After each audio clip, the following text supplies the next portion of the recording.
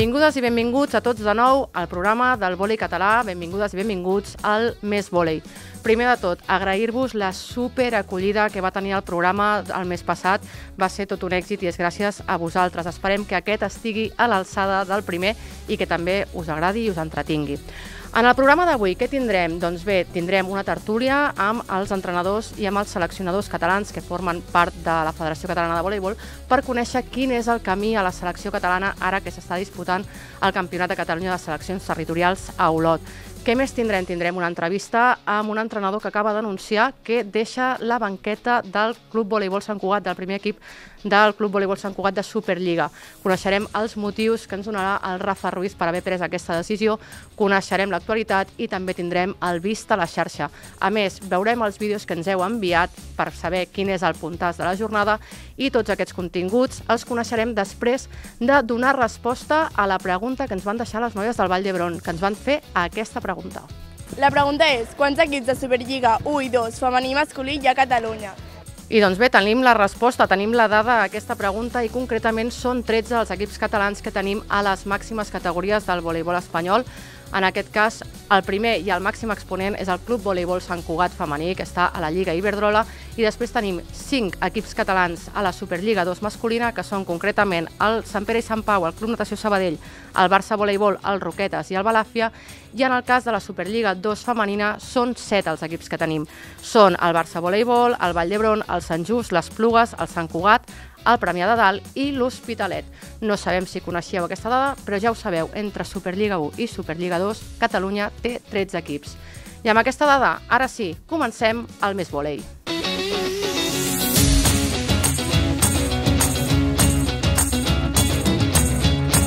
Doncs avui comencem el programa parlant del Campionat de Catalunya de Seleccions Territorials que s'està disputant des d'ahir i fins demà a Olot, que a més inclou les categories infantil, cadet i juvenil.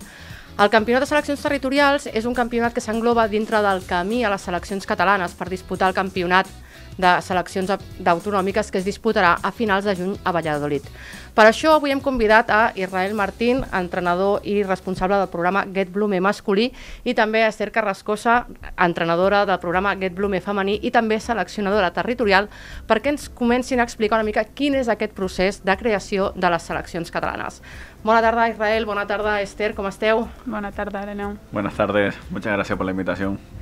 Nada, contarnos un poco. Siempre es una pregunta que nos hace mucha gente, sobre todo los niños, a través de Instagram, de todas esas cosas.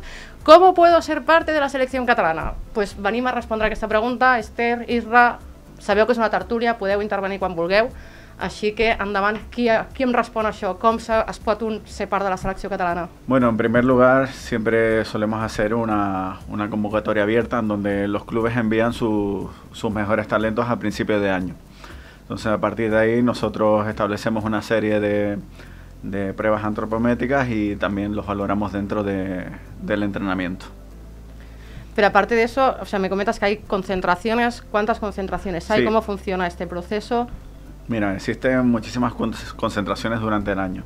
Al principio, pues más o menos identificamos perfiles de diferentes divisiones y luego damos un poco paso a aquellos en- entrenadores que han sido convocados con las selecciones terri- con las selecciones provinciales y a partir de ahí pues se genera una serie de, de entrenamientos simplemente con el campeonato provincial.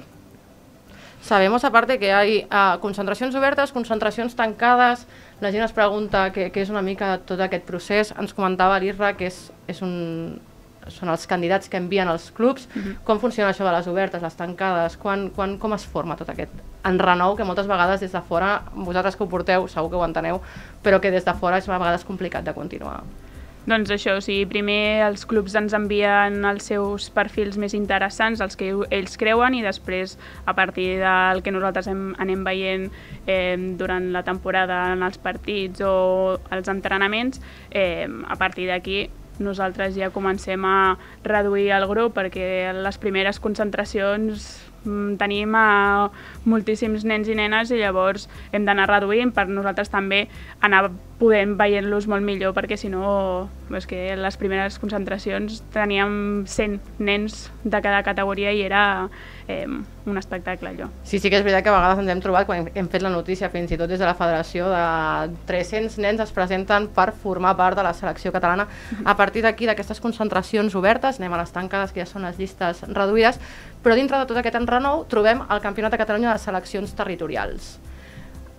Quin és, uh, o sigui, a part de ser un campionat que ja, ja forma, ja té un nom, no? ja, ja té un nom de seleccions, uh, a part d'això ja és, estem molt a prop del campionat de seleccions autonòmiques, per tant creiem que és un punt important, no?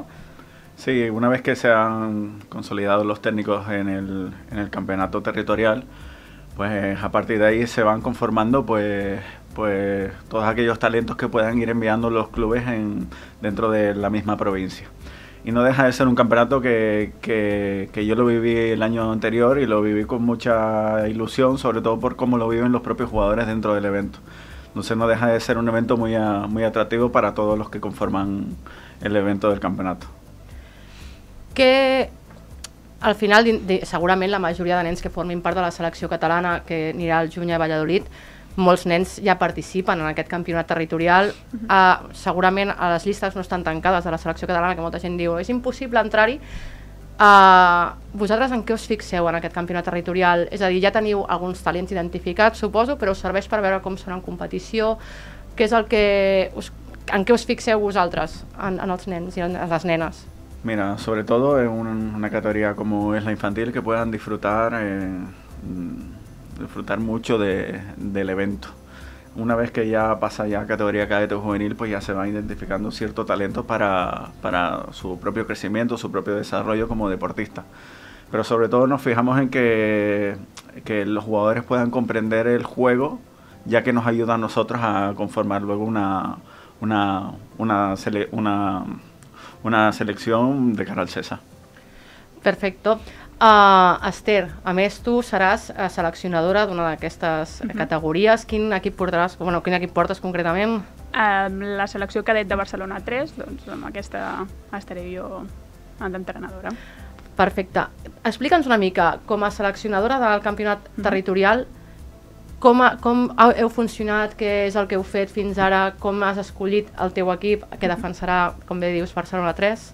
Doncs una mica en la mateixa dinàmica que, el, que els entrenaments amb la catalana, els, els propis clubs, nosaltres enviem uns, o sigui, correu i ens, ens envien doncs, les nenes que sobretot puguin estar durant aquest procés perquè al final coincideix que és Setmana Santa i doncs, sempre hi ha algunes que no hi poden ser, però el mateix, ens envien un llistat amb les jugadores que puguin vindre, eh, perfils interessants i a partir d'aquí anem fent entrenaments, per exemple nosaltres a Barcelona 3 n'hem fet quatre entrenaments i hem, aquí hem escollit. I igual, hem fet entrenaments amb les de primera, segona, tercera, i llavors eh, nosaltres ens hem quedat amb 14, però també hem tingut eh, 40 només de la nostra zona eh, entrenant. És que t'anava a dir, al final aquí, qu quanta gent podeu trobar per fer una selecció de 12 en el cas de l'infantil o 14 cadet i juvenil, quanta gent us ha vingut no, per fer aquesta selecció ja dic, final? Nosaltres diria que 40-45 nenes hem, hem pogut vindre als entrenaments i a partir d'aquí, entre, entre aquestes, hem anat escollint. Abans preguntaves sobre què ens fixem, mm, o sigui, nosaltres poden aparèixer perfils que nosaltres no hem vist durant els entrenaments o que en aquell moment que al final hem estat fent a principis d'octubre les primeres. I fins ara doncs, potser han anat millorant, cosa que potser nosaltres o no les vam veure o el que fos. I doncs, llavors sempre apareixen perfils interessants durant les provincials, així que amb tot això ens ajuda molt a nosaltres també després. Clar, al final, sobretot, eh, quan es va al CESA, el Campionat d'Espanya de, de, de Seleccions, eh, és eh, categoria infantil, cadet i juvenil. Al final, la, la, la categoria infantil no forma part de la Blume, per tant, crec que és, és, és el, el campionat territorial és un punt molt important per veure realment aquests jugadors en acció, no? perquè és, és, no, a menys que els aneu seguint directament en, a, en els seus respectius partits, és el moment de realment veure com reaccionen en moments complicats o en moments de més pressió. Por supuesto, nosotros en la categoría infantil, cuando hicimos las primeras pruebas abiertas, pues bueno, identificamos pues, una serie de, de 100 candidatos, por ejemplo, en categoría masculina. Y a partir de ahí, a medida que ha ido avanzando en la siguiente concentración, pues hemos intentado reducir esa convocatoria, pero siempre dando un poquito más de margen de libertad a lo que podamos ver en el campeonato territorial. Sobre todo porque es una categoría en donde pueden desarrollarse mucho como jugadores dentro de una misma temporada y sobre todo porque también les viene muy bien que vayan creciendo su juego, que puedan tener más entrenamiento no solo en el provincial, sino también con nosotros de cara a los entrenamientos de, de cara al desarrollo del CESA. Claro, además es una etapa de, de, crecimiento ya no a nivel deportivo, también de crecimiento a nivel físico, ¿no? Entonces, alguien que podéis encontrar a principio de temporada con unas características hace el cambio y luego eh, casi que ni lo reconocéis seguramente. Exacto, por ejemplo, comparado con el año anterior, pues pasaron casos de este tipo, que los vimos en octubre y luego los vimos en el campeonato territorial y dieron un cambio no solo a nivel de juego, sino también físico, en donde nosotros también lo tenemos en cuenta. O inclús perfils que no teníem nosaltres contemplats i que de cop diem, ostres, que és aquest, no? I per això nosaltres, jo crec, com també seleccionadors de catalana, també ens interessa en aquest aspecte, no només eh, perfils que ja coneguéssim. Quines són aquelles característiques? Perquè molta, molta gent moltes vegades ens fixem en, uh, o, o diuen que ens fixem només en l'alçada i realment per la Blomé han passat jugadors que no són de metre 90. Uh -huh. Quines, per cada un, eh? Això sé que és una pregunta que us faig als dos. Quines són les característiques que busqueu en un jugador, si pudiéssiu dir algunas cada un. Bueno, las características pueden ser totalmente diferentes en cuanto al perfil. Podemos encontrar perfiles de, de tipo jugón o perfiles que a lo mejor tienen datos antropométricos bastante diferentes que al resto, o que simplemente existan perfiles con aquellas habilidades técnicas en donde puedan ser determinantes dentro del juego. Entonces, pues mira, nosotros siempre intentamos como seleccionadores buscar lo mejor siempre para, para, para el provincial o para Cataluña. Entonces, en este caso, siempre intentamos dar cabida al registro de perfiles de este tipo. Esther, en què t'has fixat per bueno, crear l'equip? O sigui, el... nosaltres, com a territorial, sí que és veritat que també es promou des de la federació que puguin participar des de molts més clubs que no formem aquí, o sigui, o sigui equips que no formem equips a partir de només un. Llavors, bueno, té cabida molts altres equips en, en una mateixa selecció, jugadores que potser dins de la catalana no obtindran opció i per això també crec que és una bona opció, una bona eh, una bona manera també d'anar sí. trobant aquests perfils que poden encaixar. Aquests sí. jugadors que segurament no tindran tantes oportunitats sí que encaixen en el campionat territorial i tenen una experiència mm -hmm. brutal que al final és el que diem, 400 jugadors, 3 dies de competició, ens trobem tots a Olot en aquesta edició. Jo crec que pot ser espectacular. Després del provincial, després del territorial, fins al CESA, què tenim? Què, en què us anireu fixant? Com s'anirà conformant les seleccions? Pues mira, una vez que haya pasado el campeonato territorial, nosotros intentaremos pues en infantiles poder eh, mantener el listado que teníamos trabajando, que habíamos seleccionado antes del, del periodo del provincial. Y a partir de la categoría cadete probablemente provoquemos a lo mejor que se reduzca un poquito la lista, siempre dejando algo de margen a poder existir cambios porque también existen campeonatos de fase final cadete catalán o campeonatos de España. Entonces también tenemos varias oportunidades en ese sentido de poder seguir viendo o, o hacer un seguimiento de los perfiles. Perfecte, doncs crec que hem conegut una mica més quin és aquest camí, quina és la manera de formar part de, o de, almenys d'intentar-ho, de formar, mm. no sempre tenim l'oportunitat, però sí que tenim l'oportunitat d'intentar formar part de la selecció catalana. Moltes gràcies, Irra, moltes gràcies, Esther, per haver-ho explicat.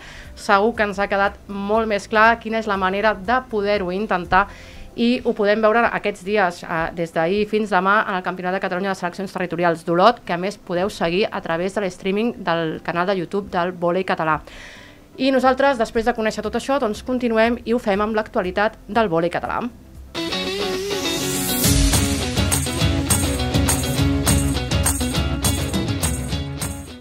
El mes de març ha estat carregat d'actualitat i el mes d'abril també ve amb un munt de coses a la butxaca.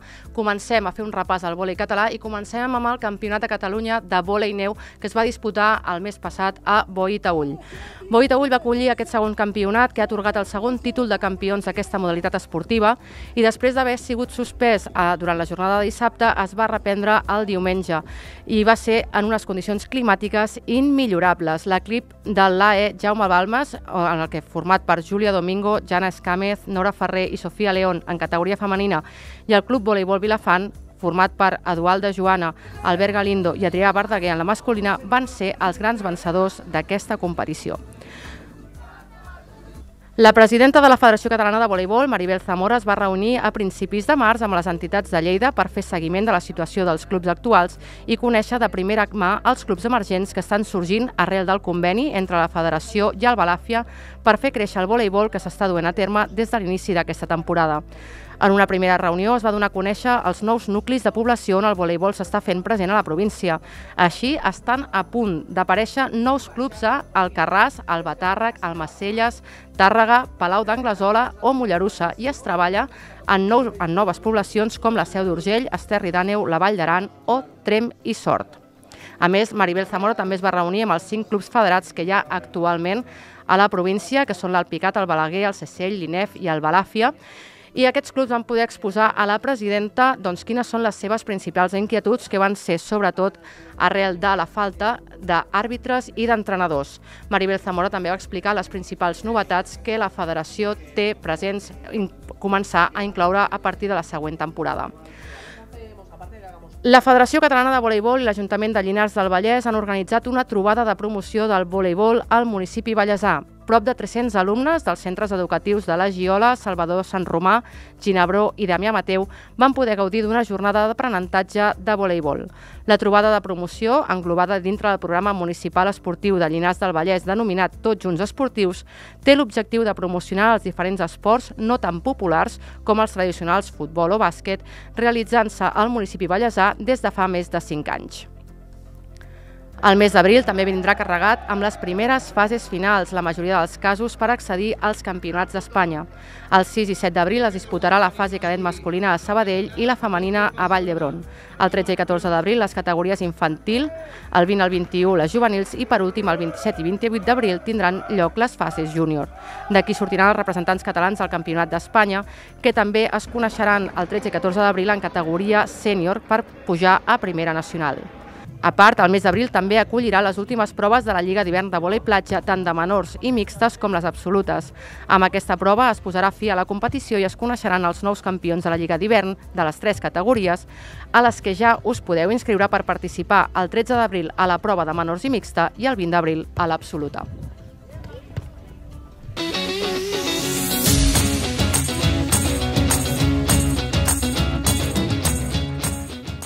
Com us vam comentar en el primer programa, cada mes volei coneixerem un club català i en aquesta ocasió hem visitat els del Club Voleibol Olot, ja que són els que acullen el Campionat de Catalunya de Seleccions Territorials i a més aquest any celebren el seu 40è aniversari.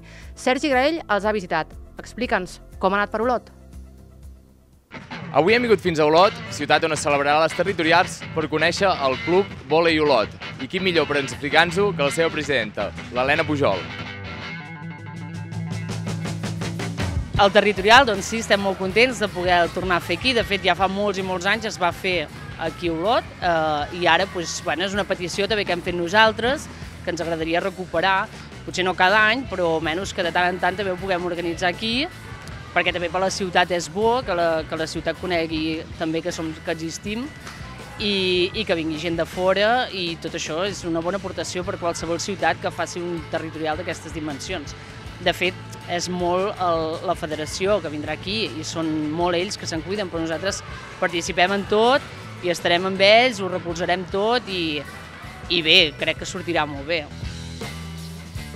Hem ficat ordre al club, o sigui, estava bastant desordenat, després del Covid també ens va perjudicar bastant, uh, hi ha hagut baixes també de gent que, que estava molt involucrada, que ja no hi són, Uh, I res, hem, jo de fet fa molt poquet que estic al club, fa un any i mig que ho porto i he ficat ordres, simplement és això.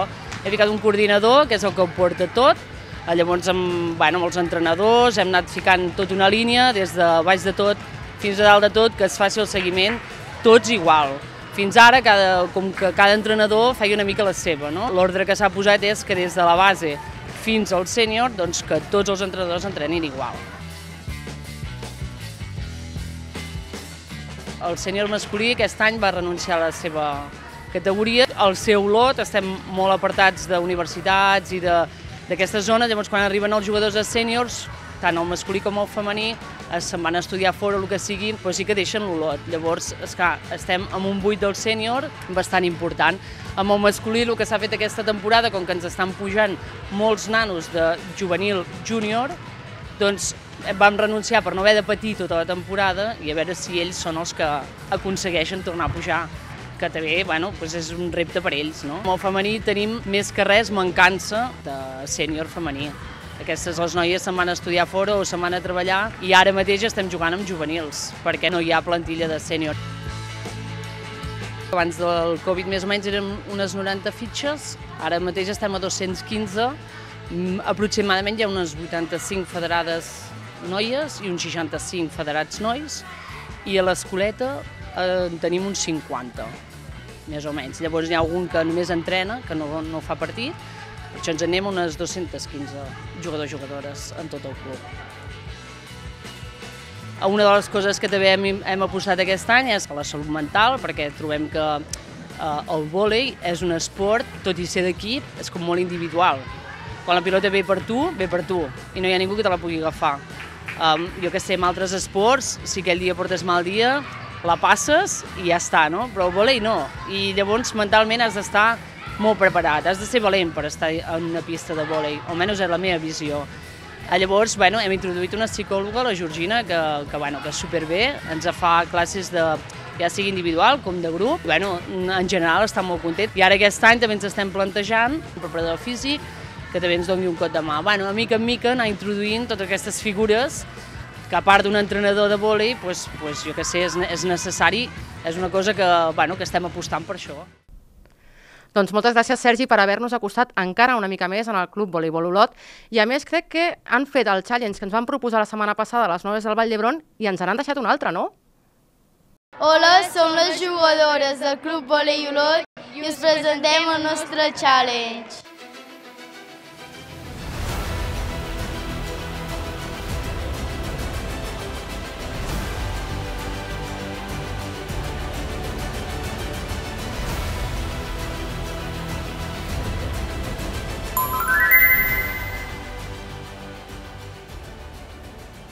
Les companyes del club de la Vall d'Hebron ens van fer la pregunta de quants equips de la Superliga eh, masculí i femení estaven a primera i segona divisió i n'hi ha més o menys 11 o 12.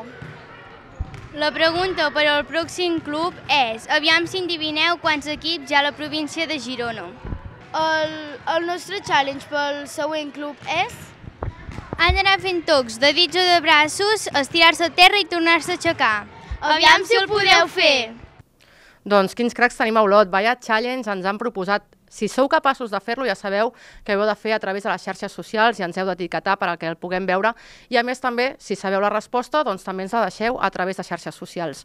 I continuem amb el més volei i ara sabeu què toca? L'entrevista.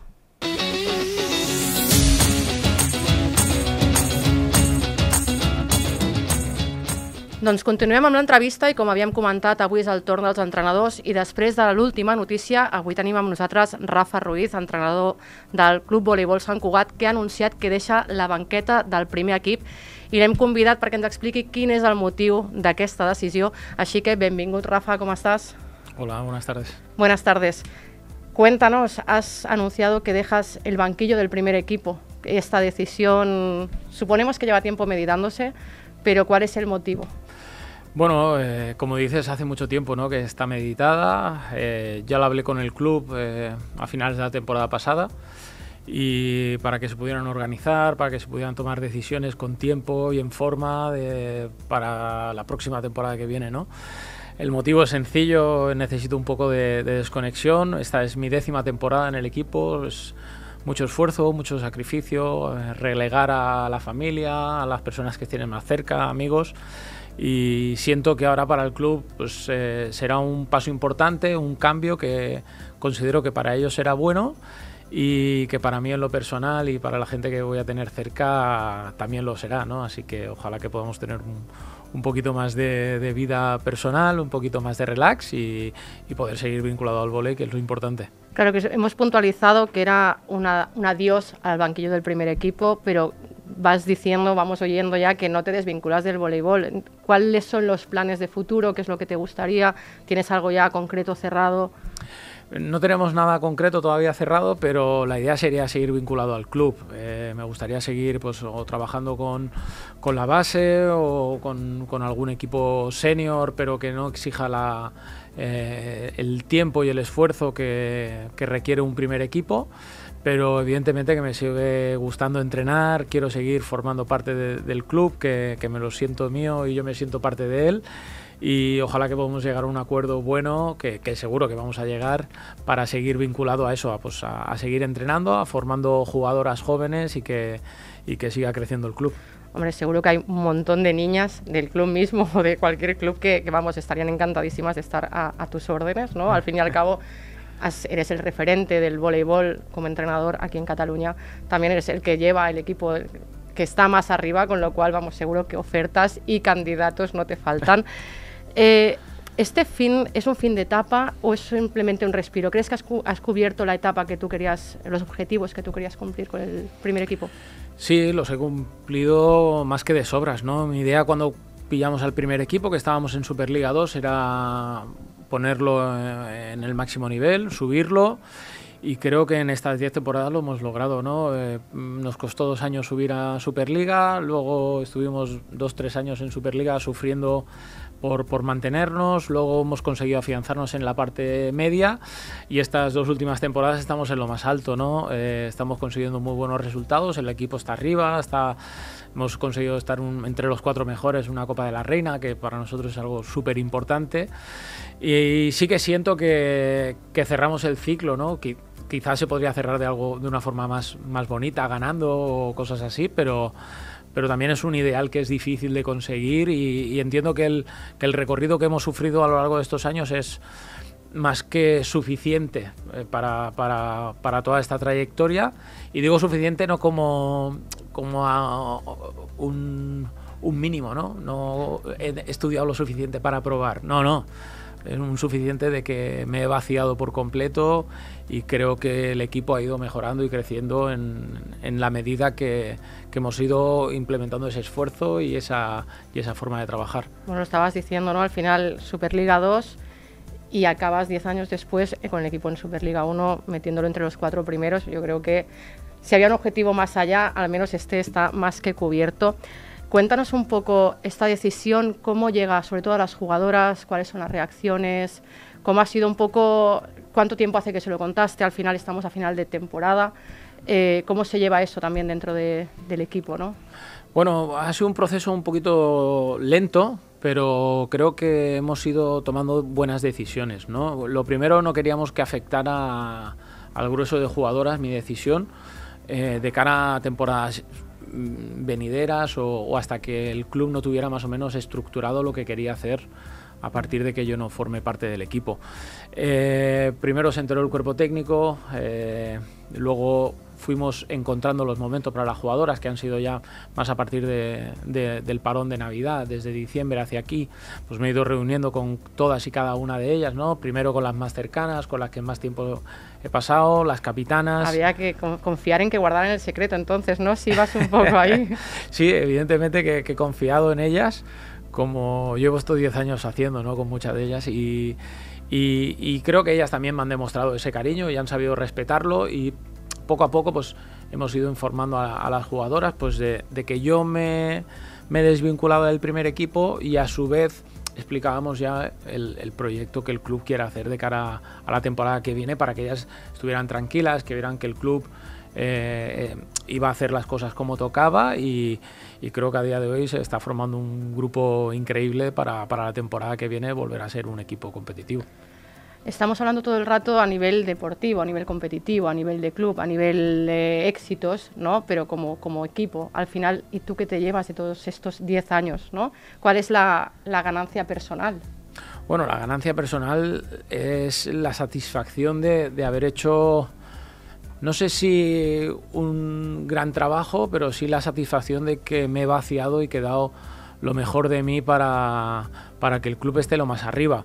Y me lo siento también a nivel personal, a nivel personal con las jugadoras, ¿no? Cuando, cuando pasan jugadoras que has entrenado y que por H o por B, pues luego han decidido tomar otros caminos o, o que tú como entrenador has tenido que tomar la decisión de apartarlas porque considerabas que, que necesitabas un cambio y ahora que se han enterado de la noticia de que dejo el primer equipo y se ponen en contacto contigo y te escriben y me han escrito jugadoras ya a lo mejor de hace 15 años que entrené cuando eran eh, cadetes o, que eran infantiles y que te demuestren ese cariño, pues para mí es lo más importante, ¿no? Darte cuenta de que el trabajo que haces día a día y durante todos estos años, pues eh, a algunas personas les llega de verdad y que te guardan un trocito de, cariño en ese corazón y que te lo hagan saber, para mí ha sido algo muy especial y muy bonito.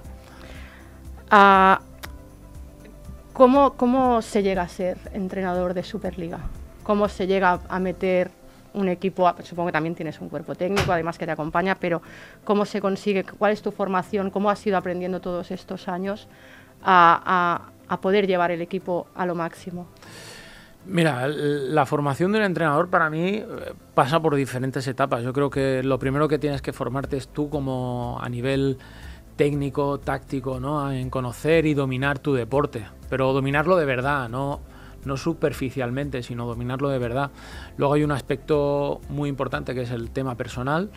Considero que al ser un formador tienes que tener un vínculo muy importante con, con las jugadoras, con las personas a las que tratas y al menos a mí, porque evidentemente hay muchas fórmulas de hacerlo, a mí lo que me gusta es eh, sentirme eh, como muy identificado ¿no? a nivel personal, que sientan que yo estoy para ayudarles, ¿no? no que estoy ahí como para imponerles algo o que las cosas solo hay una forma de hacerlas, sino un trato muy personal donde siempre hay una cabida de, de correcciones en, los, en, los, dos sentidos, yo hacia ellas, ellas hacia mí, y tratar de ayudar a que el jugador ¿no? a nivel personal pueda desarrollarse de la mejor forma posible. Y luego el tercer factor para mí determinante a la hora de ser entrenador es el tema de la comunicación. Creo que importa mucho lo que sabes, pero lo que sabes hasta cierto punto tiene un límite si no lo sabes comunicar, ¿no? Si yo sé, no sé, si sé 10 de volei, lo importante es que yo cuando te lo explique a ti, pues que te quedas con que te quedes con nueve, que te quedes con diez. Si no llega el mensaje. Claro, si no llega el mensaje al final no tiene ningún sentido, ¿no? Y son los tres pilares en los que yo me, he intentado eh, fijar para, para formarme yo como entrenador. Evidentemente luego hay otros factores como, como hemos hablado antes de, de tener un buen cuerpo técnico, ¿no? Siempre me he intentado rodear de los mejores en lo suyo yo no soy el mejor entrenador en cuanto a la estadística o al análisis de, los rivales, quizá, pero bueno, tengo, tengo un compañero como Joshua que, que, es, seguramente el mejor que podría tener. Lo mismo en la preparación física. ¿Sé de preparación física? ¿Podría llevarlo? Sí, pero he buscado al mejor que puedo tener para que me ayude a, a crecer, ¿no? Y así en todos los ámbitos, en la psicología, en el tema de, la, de, de tener un buen fisio, un buen doctor, que esos pequeños detalles para mí son determinantes, ¿no? Para que el grupo no se sienta limitado por tu conocimiento, sino que el conocimiento de cada uno en lo que más domina y sabe, eso es lo que te hace realmente que el, que el equipo crezca y de esa es la mejor manera de, de tú crecer también como profesional. Queríamos tocar un tema también, eh, al final tú eres un entrenador de Superliga en, con un equipo que está en las primeras posiciones, pero aparte tienes tu trabajo. Sí. Es decir, eh, un poco cómo se vive esto, ¿no? Queríamos tratar el tema de, al final, cómo puede ser, ¿no? Eh, es en serio, las jugadoras también seguramente tienen sus trabajos, tienen sus cosas, que nos falta profesionalización, que es lo que algo, yo creo, no que falle, ¿no? sino que es como raro. Seguramente tenemos otros equipos en el masculino, en lo que sea, o en el femenino mismo, que es como plena dedicación. En cambio, no, no estamos en ese punto. ¿Cómo lo llevas? ¿Qué te parece el tema este? Bueno, al, final es cierto que el volei eh, le falta un punto de profesionalización, ¿no? Eh, creo que se está trabajando para hacerlo y cada vez ser un poquito mejores, pero todavía no llega ese, ese desequilibrio donde la gente puede optar realmente a vivir solo del vóley, ¿no? Te puedes dedicar durante un tiempo, pero claro, si te dedicas a un tiempo corto, como es la vida de un deportista, eh, muy rápido vas a tener que desencaminarte en otra vida profesional. Y si no tienes experiencia, cuando te estás con 30 años, con 32 años, sin experiencia laboral, a lo mejor hoy en día que todo avanza tan rápido, te va a costar encontrar un buen puesto de trabajo. Entonces, todo eso desarrolla a un formato que particularmente nosotros en el club lo hemos hecho, que nos ha ido bien el combinar pues, gente muy joven que, tenía ganas de seguir estudiando y seguir entrenando al máximo nivel, con lo que eso supone que, no es fácil y es muy difícil. Y también con jugadoras pues, que han tenido que ir combinando el mundo laboral o incluso yo, el mundo laboral por las mañanas, para eh, luego dedicarse pues, a su pasión, al vóley, además de su oficio, ¿no? porque estamos hablando de que son jugadoras algunas que están trabajando ocho horas por la mañana, o en mi caso ocho horas por la mañana, pero es que además estamos compitiendo contra los mejores equipos eh, que sí que tienen plena dedicación. Bueno, demuestra que se hace un buen trabajo, que sobre todo hay mucha voluntad y mucho esfuerzo de, un gran sacrificio para estar ahí y que a veces, pues eso, el trabajar bien eh, también tiene sus frutos, aunque tardes 10 años, ¿no? A lo mejor no hemos tardado uno, dos o tres, no, han sido han sido 10 años de dedicación. Pero también con gente de la casa, ¿no? Claro, con gente joven, evidentemente, que, ha, estado dispuesta a, sacrificar, ¿no? Pues ese tiempo de estudio, ese tiempo de no estar con los amigos, de no ir al cine, de, no salir de fiesta, eh, porque tu pasión, el vóley, requiere otras cosas. Y poner todo eso en valor, pues al final hemos hecho un buen una buena amalgama ¿no? de jugadoras eh, casi profesionales, con jugadoras que tienen su trabajo, sus estudios, donde entienden muy bien cuál es su su implicación dentro del grupo, ¿no? Y entre ellas se han ido ayudando, retroalimentando para que, para que el grupo siguiera creciendo y cada año fuera más fuerte. Perfecto. Se nos está acabando el tiempo, pero yo tengo aquí una cosita. En este bote, eh, gente que te conoce, que está dentro de, a lo mejor hay jugadoras, hay gente que te conoce y demás. Hemos pedido que nos enviaran preguntas, se nos está acabando el tiempo. Eh, hacemos tres, eh, yo las ni las he leído, así que va a ser sorpresa para los dos. Te pido que las saques, leas y nos respondas a, la pregunta que, te hagan. Vale, vamos a ver. vamos allá.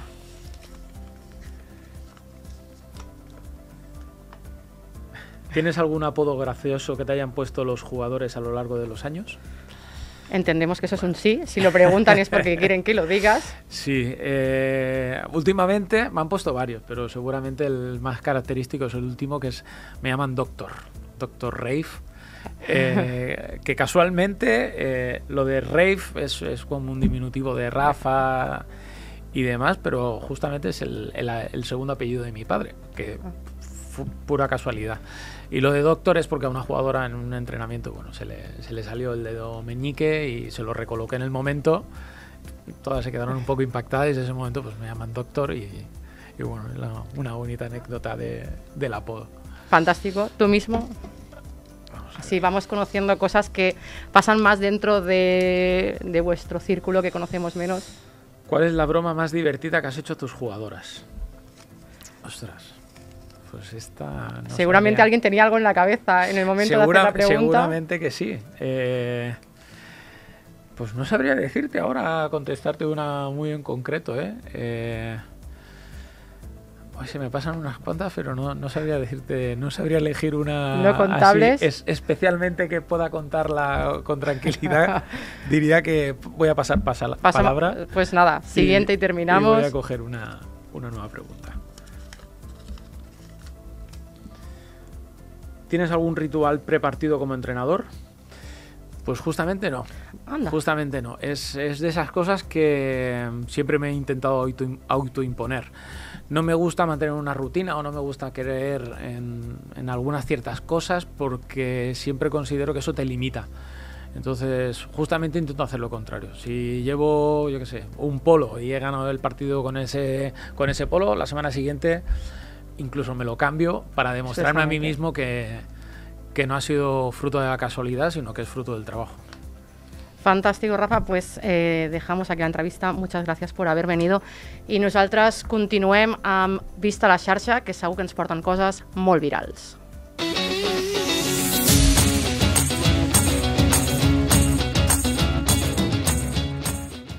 Doncs ja estem arribant al final del programa i ens queda la última secció, la més viral, la de Vista a la xarxa, i per tant ens acompanya el Joaquín. Com estàs? Molt, Molt bé. bé. Va ser un èxit, eh? Va ser totalment un èxit la secció, així que et tornem a tenir aquí per parlar de xarxes socials, de tips, de vídeos virals, Que bé, que bé. i jo us aviso que sempre, com sempre, una secció en la que jo desconec totalment el que ens porten, així que tu mateix, endavant. Sí, bueno, a veure, uh, per una part, jo estic, estic aquí aprenent com vosaltres i per l'altra, pues, una mica ensenyant de, de, lo, de lo poc que sé. Però bueno, la primera cosa que us volia portar al meu Vista a la xarxa eh, doncs era un, un vídeo que ha funcionat molt bé a, a TikTok que vaig trobar uh, sobre una posició en especial del camp. Però, a veure, ho explica molt millor a aquesta creadora de contingut A veure... que bueno, diu que la complicada vida de ser l'oposat no? Al, Sí? a dins de la pista. Clar, perquè diu, bueno, és una mica a la soledat, no? als buits. Clar, perquè Sí. entenc que és una posició que no participa tant, sinó que és més de moments especials, no? Jo, mira, jo sóc col·locadora i estic acost- acostumada a tocar sempre la pilota. Uh, no entenc com a algú li pot agradar ser oposat, ja t'ho dic, perquè no reben, uh, no... O sigui, és com... I si no els hi passes la pilota, eh, bueno, la seva participació és, és, és poca. Però també haig de dir al seu favor que normalment són els millors atacants. És a dir, que si són bons, se'ls hi passen moltíssimes pilotes, eh? Però sí que és cert que, que a vegades que et canvies de posicions i jugues a qualsevol posició i tal, en la vida seria oposada, ja t'ho dic. Així que eh, eh, és graciós, no?, al final el que ens presenta i és possible que, que, que a vegades se sentin una mica oblidats o una mica així, però al final s'han de demanar les pilotes, que demanin meva, meva o passa-me-la, i al final segur que les col·locadores, si se'ls demanen, els hi passen. Clar, no, i el bo d'aquest vídeo és que al final eh, el que estan fent és adaptar molt bé una situació com els pensaments, les emocions d'un jugador dins del camp, que és un format que després ho comentaré que pot funcionar molt bé per a, de cara als clubs de, de, de, de vòlei. Al final és, és, és, és graciós, és un vídeo graciós de, de com es pot sentir un jugador a la pista. Em sembla, em sembla fantàstic, eh? Sí. Em sembla fantàstic. I el següent vídeo seria um, d'una creadora de contingut que ella és, bueno, crea contingut de vòlei, però a més a més també és jugadora. Um, diré que a un nivell semiprofessional es diu Celeire, eh, és de Canàries. Ella doncs, acumula pràcticament 90.000 seguidors i, clar, fa tips de vòlei com aquest, que és com, bueno, pues, són coses que a mi, com a mm, bueno, persona que no segueixo directament al vòlei, penso, ostres, em crida l'atenció perquè em fa apropar-me, però també alguna persona que jugui a vòlei, ja sigui a nivell professional o semi, clar, li ve molt, molt bé. Perquè mira, en aquest tip, per exemple, és, clar, quan ja t'has ficat les bambes, però t'has de ficar les proteccions pels genolls. Ostres, espera't, ara estic flipant, Mira, mira, mira, mira la facilitat. perquè rellisca. Exactament, exactament, sí, sí, sí. sí. Ostres, és boníssim perquè és una de les coses, no sé si habituals o no, però que sol passar de posar-te, acabat d'estar vestit i quan t'aixeques et sents despullat, eh, més? O sigui, és allò de dir, me falta algo, me falta algo. I quan te n'adones és, ostres, les genolleres. Qui, els que porten genolleres, la veritat és que quan no te les poses és impossible jugar o qualsevol cosa. Per tant, és un tip superimportant Sí. i supernecessari. Ara, has de portar la bossa. Si no portes la bossa a sobre, tampoc et serveix de gaire Sí. eh, la- el tip. Eh? És veritat que és una mica la cara i la creu, no? Perquè t'oblides a ficar-te abans la genollera, però clar, t'has de recordar abans de portar la bossa per si de cas. Exacte. Doncs sí, sí. Uh, em sembla un tip molt bo i després en recordarem de- d'aquesta creadora de contingut perquè té molt bon contingut. El següent vídeo és d'uns dels clubs de- d'aquí a prop. És de, el club Titans de Sant Cugat. Sí. Eh, ells, bueno, no és un vídeo que hagi funcionat super, super bé a la xarxa, però que sí que crec que és una manera de, de fer com de referència. Vull dir, al final ells el que estan fent aquí és com, bueno, estem mostrant una mica eh, què fem o com és un partit nostre, eh, amb jugades, fan una mica com de resum de la jornada. Jo crec que és el camí que han de seguir els equips. Però ara els tips passaré a explicar una mica més per què potser aquest no funciona tant, però mm, li falta molt poc als Titans per arribar a juny. Ostres, és fantàstic perquè a més el club volei... bueno, els, els Titans de Sant Cugat és un club de nova creació, per tant vol dir que venen amb molta força i amb molta empenta per ser un referent Total. en el, com a mínim a la xarxa, no? Sí, que és sí, el que sí, estem sí. buscant, no? referents a la xarxa.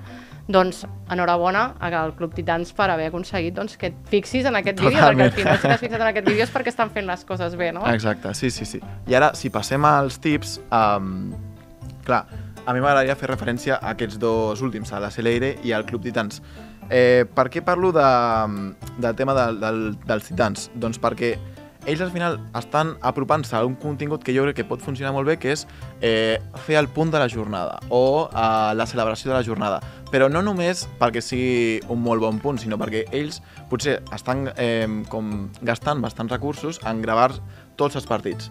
Eh, però clar, si va vas a gravar només al final, ja tens la celebració del final, ja eh, t'apropes a les emocions de les, de les jugadores, o potser, si és una derrota, doncs una derrota, no? però també pots gravar el discurs de com motivar a, bueno, a jugadores, als jugadors, tot això jo crec que a TikTok pot funcionar molt bé, sempre i quan sigui una, com de prop, no? Algú que al final la, aquesta persona de comunicació La- ha de ser propera. El piel a piel, no? Que allò que es noti la, les sensacions Exacte. i que desprengui emocions, no, el vídeo. Sí, sí. I si és un puntazo, pues, clar, la gent celebrarà com boja, això funcionaria molt bé. I només el gol, perdó, només el punt o la celebració. No cal que sigui un resum total de la jornada, perquè al final la xarxa entenc que, eh, que és un vídeo massa llarg i que si no té una retenció duradera, no, no, no agafaria. Impactes. Impactes, Necessitem sí, sí. impactes. I vídeos que, per curts. cert, eh, tindrem els, després, al finalitzar el programa, els vídeos dels puntazos de la jornada que ens han enviat Mira, la gent, eh? O sigui perfecte. que farem un resum de tots aquells que hem rebut, però tindrem el puntazo de la jornada. Perfecte. I tinc un altre tip. Per Ostres, últim ja, segon, eh, apuntem. A, recull una mica el que feien abans la, la, les, bueno, la Celeire, Mm. que eren els tips. Eh, I també l'altra creadora de contingut, que ara no recordo el nom, però que una cosa que aniria molt bé és explicar aquests com conceptes o ajudes que poden donar eh, jugadores, que poden donar jugadors um, de cara a una posició, per exemple. Com funciona la posició de la persona que saca o de la persona que està més a prop de la, de la xarxa. Al final és una mica com continua de la mateixa manera, no? de ser proper i d'explicar una mica des de dins com funciona i també per enganxar la gent que no està en el dia a dia al vòlei. Perfecte, doncs ja tenim, avui ens has portat molta informació, vídeos i a sobre un de, un de casa nostra, que per tant estaran contents de, de sortir el Més Volei, i ens has donat aquests tips de buscar impacte i buscar emocions, que jo crec que al final és el que hem de buscar, que és el que també busquem aquí una mica, no? Sí, el sí, buscar sí. allò que, allò que atrau a la gent, no? Doncs Joaquín, moltíssimes gràcies de nou per haver estat aquí amb nosaltres. Et intentarem veure't aviat, vale? Sí. continuem en els programes. I, de nou, moltes gràcies a tots vosaltres per haver estat a l'altra banda de la pantalla. Moltes gràcies per seguir-nos i per enviar-nos els vídeos del punt de la jornada. Us recordem, mesvolei arroba diariosport.es. Heu d'enviar-nos els punts de la jornada que surten ara que acabem al final del programa i els podeu veure i segur que us agradaran moltíssim. Així que us deixem fins al proper programa, fins al proper Més Volei. Moltes gràcies.